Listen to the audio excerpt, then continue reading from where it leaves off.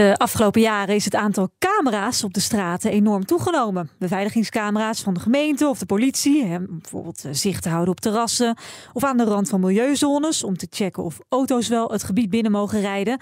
Worden wij nu vrijwel overal in de gaten gehouden of valt het eigenlijk wel mee? Sander Flight is adviseur op het gebied van cameratoezicht. Hij liep tien jaar geleden al met de verslaggever van NRC door een wijk in Amsterdam om even de camera's te tellen. Toen waren het er tien. Kort geleden liepen ze diezelfde route nog een keer en nu zijn het er 30. Dus na 10 jaar hangen in dat gebied drie keer zoveel camera's. Sander, welkom. Dankjewel. En ook de gast is Bert Hubert, techdeskundige. Hij besloot in het verleden zelf ook over toestemming voor camera-toezicht. Bert, jij bent in onze studio in Den Haag. Fijn dat je er bent. Ja, goedemiddag. Sander, om met jou te beginnen. Is het erg dat er drie keer zoveel camera's hangen nu in 10 jaar? Ja, dat is meteen de, de million dollar question zou je kunnen zeggen. Ja, um, als ik gewoon over straat loop, ik woon toevallig ook in dat gebied. Dus dat is heel erg leuk om in mijn eigen straat een keer met een schuine blik naar boven te kijken. En dan schrik ik eigenlijk wel. Dus in die zin vind ik het erg, ja. Maar is het nou erg als je in beeld bent van een camera die het eigenlijk niet meer doet? Want dat weet ik natuurlijk niet. Er hangt oh, zo'n bolletje of er hangt een staafcamera. Als hij het niet meer doet, dan wordt hij toch weggehaald? Ja, dat zou je denken, maar dat is niet altijd. Ja, en heel even, woon je in een criminele wijk of is het gewoon een beetje een doorsneewijk? Zo goed om te weten. ik denk dat ik in een heel erg doorsneewijk woon. Het stukje wat we hebben gewandeld is wel een stuk met heel veel horeca. En heel veel van die camera's hangen aan horeca-gelegenheden. Maar dan zijn ze wel eigendom van de gemeente of de politie... of zijn ze van die horecazaak? Nee, verreweg de meeste camera's zijn van particulieren. Dat moet ik ook altijd uitleggen in mijn cursussen... voor ambtenaren openbare orde en veiligheid. Ik denk dat ongeveer 1 op de 100 en misschien zelfs wel 1 op de 1000 camera's die je op straat zien, die zijn van de overheid. En die andere zijn gewoon van particulieren hmm. en van bedrijven. Ja. Hubert, waarom hangen er steeds meer eh, camera's? Ja, dat is een beetje een ingewikkeld verhaal uh, met privacy. Het gekke is dat een camera aan de ene kant voel je je daardoor bespied. Ja. Denk je, joh, dus een camera maar in de gaten te houden. En tegelijkertijd ontlenen mensen een gevoel van veiligheid aan camera's. En ja. uh, dat betekent dus dat als iemand denkt van joh, er is hier iets aan de hand, er gaat iets niet goed. Um, dan kun je wat geld uitgeven, dan hang je die camera's op en dan heeft iedereen het gevoel dat er uh, wat gedaan is. En ik denk dat dat een van de belangrijke redenen is dat er steeds meer camera's komen. Dat als er een incident is geweest, dan is iemand, nou, hang een camera op. En uh, zoals Sander net ook al zei, ze worden ook niet noodzakelijk weer weggehaald als er niemand naar kijkt. Dus nee. zo, zo bouwt er steeds meer op. Ja, maar is dat een glijdende schaal? Want dan kun je dus zeggen, er komen altijd meer camera's bij en ze gaan eigenlijk nooit meer weg. Ja, nou dat is altijd de vraag van hoeveel risico heb ik hier nou van? Hoeveel, wat is de, de, schade die dat soort camera's aan kunnen richten?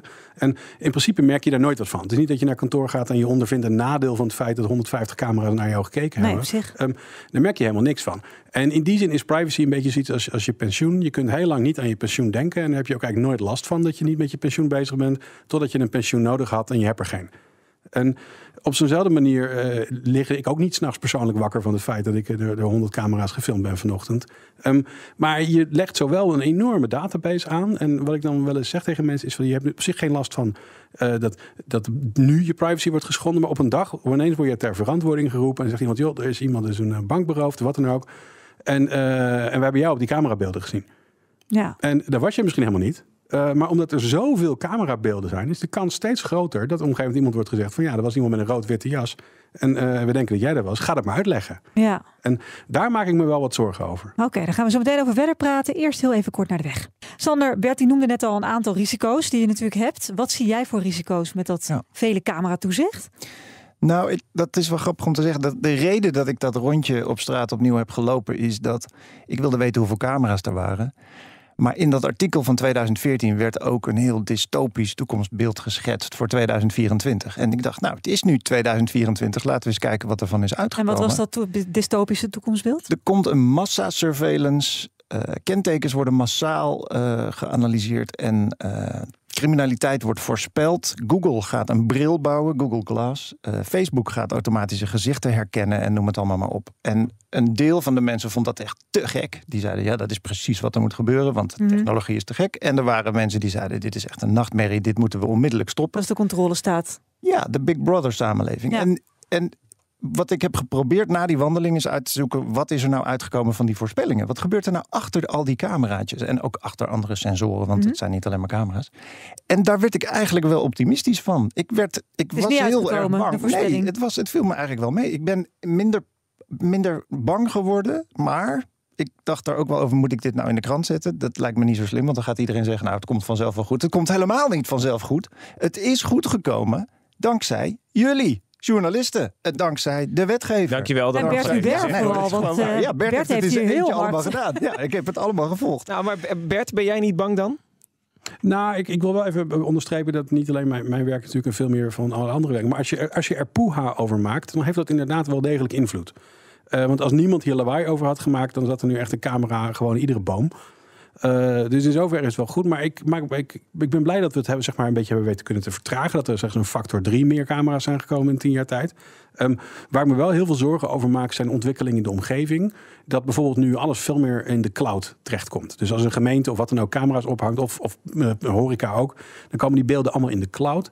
En waar ik me een beetje zorgen over maak, is dat er dus leveranciers kunnen zijn die zeggen: joh, we hebben eh, al die camera's, die kunnen we nu aan elkaar koppelen. Want we hebben nu ook daadwerkelijk praktische AI beschikbaar. En we kunnen nu bijvoorbeeld zeggen: joh, die vent met die rood-witte jas, ga eens even zoeken op alle camera's waar die allemaal geweest is. Ja. En dat zijn dingen die technologisch gezien een paar jaar geleden nog heel duur en moeilijk waren. En, nu zie je de demo helemaal voor je. Dat je die vent met die rood-witte jas helemaal terug kunt volgen. eh, tot aan de parkeergarage waar hij daar buiten reed. En daar binnen weet je dan wie die was.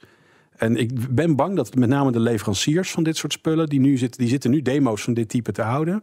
En ik denk met het huidige eh, law and order klimaat wat we hebben in eh, schoof 1, eh, zou het zomaar kunnen gebeuren dat ineens mensen zeggen, nou laten we wel al die spannende dingen aan gaan zetten, want Ja. die tijd is er nu rijp voor. Het koppelen van al die systemen. Sander? Ja, nou daar ben ik het helemaal mee eens. En wat ik ook heb gezien is dat de, het zwaartepunt in de discussie is verschoven van wat doet de overheid richting ons als voorbijganger naar wat doen wij onderling elkaar allemaal aan. Met al die je ringdeurbellen. De, nou, bijvoorbeeld. En de auto's met camera's. De dashcams, de smartphones. Het filmen van de de- smartphone. Elk ongeluk je wordt kan gefilmd. Altijd, als je thuis komt, kan je gewoon je smartphone in de vensterbank zetten en dan film je de straat. Ja. Dat kan je streamen naar internet. Weet ik veel waar dat naartoe... Nou, ik weet dan toevallig wel waar het naartoe gaat, want ik wil dat niet. Ik zet dat uit. Maar de default settings van een deurbelcamera zijn ook voor die producenten van heel veel van die camera's een totaal raadsel. Dat Ja. gaat ergens, precies wat Bert zegt, naar Amerika, naar een grote server waar ze er allerlei technieken op loslaten. En nu is het nog zo dat Google voor Street View een autootje moet laten rondrijden in alle straten. En dan is de meest recente foto waarschijnlijk een half jaar oud Mhm. van jouw straat. Straks is dat gewoon real-time mogelijk. Wat is het voor weer in de straat eh, waar Ja. ik straks naartoe rijd? Wat is het voor Sander, weer in de straat aan de andere kant van de wereld? Jij zei, ik ben eigenlijk dus heel optimistisch tien jaar later dat er nog relatief weinig camera's zijn, dat het nog geen controlestaat is. Maar je schetst hier nog steeds wel een soort doembeeld van Ja. waar het wel naartoe gaat. eh, Wat Bert ook ziet. Ben je wat dat betreft wel optimistisch? Of zeg je nee, ik ben helemaal niet optimistisch? Ik, ik wens gewoon optimistisch te zijn, want ik zie ook de voordelen van technologie. Technologie heeft mijn leven zoveel beter gemaakt de afgelopen tien jaar. Dus ik ben heel blij en heel dankbaar voor alle mensen die dat op de goede manier hebben gedaan. Ik ben ook heel blij met alle corrigerende mechanismen die we in het leven hebben geroepen. En ik hoop maar dat we door af en toe dit soort eh, alarmsessies te hebben en ook aan de bel te trekken, mensen wakker kunnen houden voor wat er aan de hand is. Maar en dan kan je de voordelen om, wel om oogsten. mensen wakker houden voor als ik een camera heb aan mijn deurbel? Of gaat dit er meer om om de politiek wakker te houden dat zij geen wetten maken waardoor zij mijn deurbelcamera kunnen uitlezen? Want als, eh, als, als niemand mijn beeld mag gebruiken, en dat gebeurt toch, dan kan ik bij de rechter zeggen. Dat mag helemaal niet, want dat was een deurbelcamera. Want dat mag niet volgens de wet. Het moet toch uiteindelijk wettelijk geregeld Ja. worden? Ja, nee, absoluut. Maar je noemt hier meteen drie belangrijke partijen. Ik kan naar de rechter, dat klopt. De rechter past de wet toe. De wetgever moet dus aan de slag. Ja. Maar waarom gaat een wetgever 's ochtends zijn bed uit? Dat is omdat hij weet dat het volk, de burgers, wij met z'n allen, journalisten, iets heel belangrijk vinden. Als je ziet wat voor debatten er zijn gevoerd in de gemeenteraden van Nederland, waar ze allemaal smart cities wilden gaan bouwen om alles te scannen en we zien wel.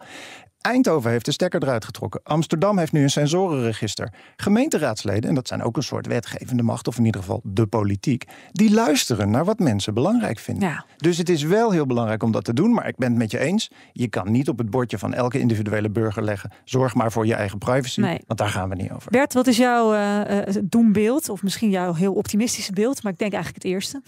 Nou ja, kijk, we zijn wat verder dan je soms denkt. We hebben bijvoorbeeld het wet- wetboek van strafvordering heeft artikel 126 ND, Nico Dirk.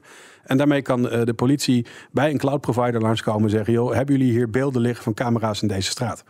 En uh, die wet bestaat al, die bestaat al een hele tijd. En niemand weet precies wat ermee gedaan wordt. Maar men weet wel dat hiermee camerabeelden te vorderen zijn bij derde partijen.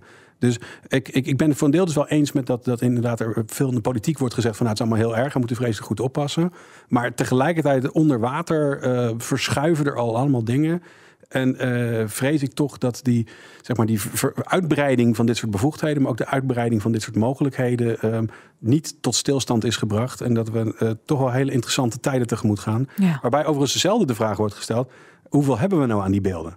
Daar hebben we het even niet over gehad. Maar uh, iedereen, wij moeten altijd, zeg maar, als privacy mensen moeten we uitleggen waarom het, het erg is wat er gebeurt. Maar niemand hoeft ooit uit te leggen waarom het goed is. Nee, maar is het wel goed? Ik bedoel, Bert, nou, heeft, het, heeft dus het zijn voordelen? Ja, kijk, bijvoorbeeld toen, toen bij de moord op uh, Peter R. de Vries... waren toen van die camerabeelden waarmee men het in no time... bij mij in Nooddorp, waar ik dan woonde... Uh, de, de, vlucht, de vluchtauto van de daders kon pakken. En dan denk je, oké, nou dit was dus echt een hele goeie. En zo incidenteel uh, zijn er van dat soort voorbeelden. Die worden de politie altijd vrij breed uitgemeten. Maar je moet tegelijkertijd wel bedenken van... Joh, hoe, hoe goed waren die resultaten dan... ten opzichte van die, die honderdduizenden camera's die er inmiddels hangen... Um, zijn die twee dingen nog met elkaar in balans? En ik mis die balansdiscussie waar, waar wij als buitenstaanders steeds moeten zeggen hoe erg het is. En ik zou er graag tegenover een wetenschappelijk onderzoek willen hebben van nou, dit is wat we eraan hebben gehad. Waarvan acte, dank jullie wel. Techdeskundige Bert Hubert en Sander Flight, adviseur voor gemeente over camera's.